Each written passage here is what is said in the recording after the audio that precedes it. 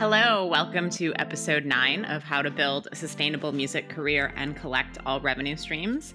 Today's episode is based on chapter five of the book, and it's called Music Publishing Isn't Scary or Confusing. Um, well, the full chapter title in the book is Plus How to Land a Sync Placement, but that's going to be next week's episode, the sync placement stuff with uh, Lauren Ross. First, what is music publishing? There are two rights in music there's the master recording side, and then there's the songwriting side. So, music publishing. So, let me back up. I swear it's easy, I promise. Everyone knows what a record company is supposed to do in theory. Um, I assume everyone does. I feel like I could stop someone on the street and they would, for the most part, understand what a record company does. So, a record company's job is to promote and legally exploit, as in collect as much money as possible for the master recording. That's their job. Collect as much money as possible on the recording and uh, promote it so it gets as much money as possible. All music publishing is, is the exact same thing for your songwriting. So there's no reason to run to the hills in terror, you know, being completely overwhelmed and intimidated by music publishing. And I think that happens for two reasons.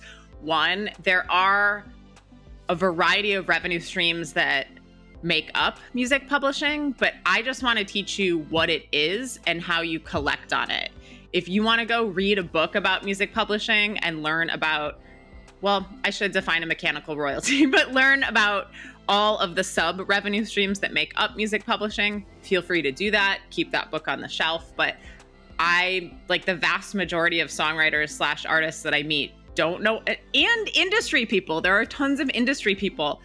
Um, you know, I'm jumping around, but I remember being in a meeting with someone who was 20 years older than me and had been working in the industry his entire adult life who said, Oh, I never understood all that music publishing stuff. And that just super confused me because it's like, if you're going to enter a field, in this case, the music industry, don't you want to um, know everything about it. But like I said, so there's all these sub revenue streams. I don't think you need to know that. You need to know what music publishing is, which is what I just defined, and how to collect on it, which I'll talk about next. So again, that and then the collecting on it, that's also the scary part from the 50s, 60s, and 70s because to collect on it, you had to sign your music publishing rights away to collect on it. So there's a lot of horror stories. But it's not like that anymore. I mean, you can still do those deals, which I'll talk about, but um, you can own your rights and collect on your music publishing, which is very exciting. I write a song, or you write a song, or an album, or an EP, or an opera, or whatever. And the first thing you want to do, which is what we covered in the previous episode, is you want to make sure that you are signed up for a performing rights organization. Um, in the US, that's primarily ASCAP and BMI. So pick one, register yourself, sign up only once, but every time you write a song and you agree to the songwriting splits and you put it in writing and you sign it or you email it to each other, as we've talked about, then you log in to your PRO, so ASCAP or BMI in, in the US, and you register the songs. So that's the first thing you do. And I don't know if we covered that part clearly enough in the previous episode. Every time you write a song, you know, if you're a solo songwriter, just uh, register it with your PRO. If it's a co-write, obviously agree to the splits, and then you both need to register it. So that's the first step. And like I said in the previous episode and said throughout the podcast, I totally understand. You know, when you sign up for a PRO, uh, you are not collecting on your publishing in full. And that is understandably totally confusing because when you sign up for a PRO, that is also split into two sides. Uh, the writer's share and the quote publisher's share.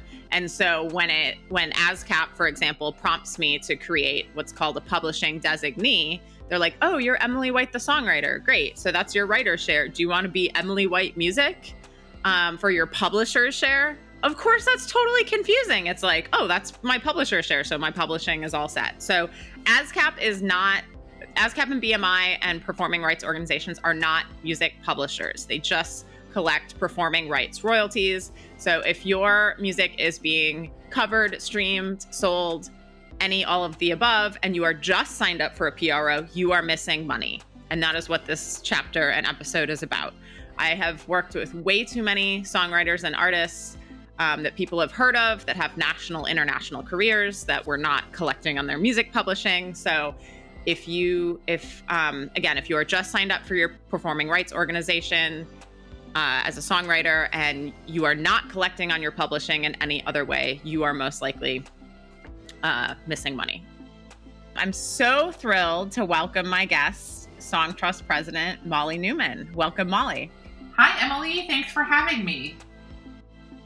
We are offering access to a part of the industry that has been historically very un- inaccessible, right? Like it's it's just like global publishing administration and collections from you know and direct collections from societies with through our direct affiliation network and the digital um, licensing schemes that we participate in are not something that like the independent songwriter or even the independent publisher has had a very sort of easy way to tap into. You know historically sub-publishing networks for small publishing companies or even medium-sized publishing companies are a pretty traditional scheme and that you know those can be very successful if you have activity in that market that they can help you activate and you know make sure that you have all of the licensing opportunities that are relevant to that local market but those aren't really as um, available to your average independent writer producer beatmaker whoever now that's an increasingly important segment of the the creative community. Um, and so, what we, you know, how I think about, um, you know, the sort of the access that, you know, the Kickstarter model is sort of like access to resources through your community.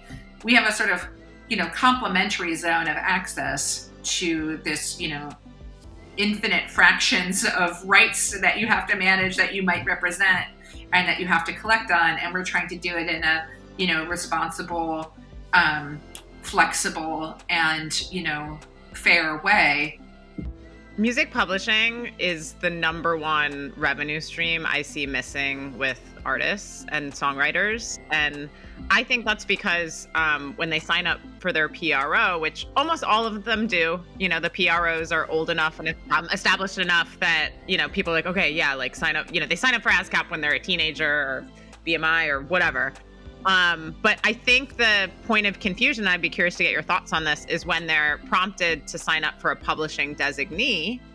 Um, what once they do that, what, you know, when I meet songwriters and artists of all levels, and I ask them their publishing situation, they're like, "Oh, I'm with ASCAP. Oh, I'm with BMI," mm-hmm. and then I find mm-hmm. out they are not collecting on their music publishing. Are you seeing this? Because you're obviously talking to way more songwriters than I am every day. Yeah, I mean, our team. Yeah, that's a lot of the. You know, like the first question. I think if you you go to our help center, like, you know, do I need Songtrust if I have ASCAP, BMI, SESAC, IMRO, PRS, any of the you know hundreds of, of societies around the world?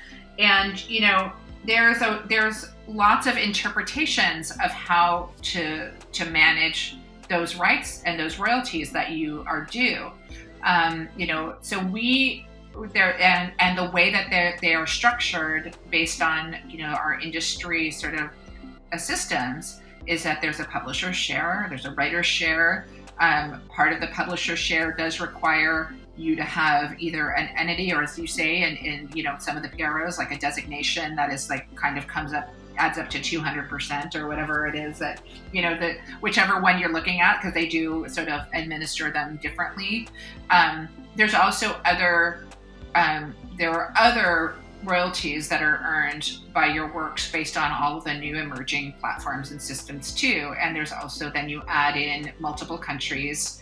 And if you learn more and dig into it more about the reciprocal arrangements between societies for the specific rights that they are able to collect on, you learn that management of that on a, on a sort of one entity to one person um, without a traditional publishing infrastructure or what we think of as a modern publishing infrastructure um, is is really hard and you know, I think it's arguable that with independent writers, like where if their earnings are primarily in their home country or their home territory, you know, it's probably more of an exception that you're earning tremendous sums globally, but it's still your money. And there's that other piece of, you know, the the system where unclaimed works and unclaimed royalties then unfortunately become sort of redistributed at certain stages based on local, you know, requirements and rules. And, you know, so we also see ourselves as part of like a source of, of you know, a great deal of, of rights that we represent, a chance for that to be minimized. So the, the money to be distributed to its rightful rights owner. And, you know, that's a really important part of what we do as well. Agreed. We're just trying to make your lives easier, people. yes, exactly. Yeah, we're here for you.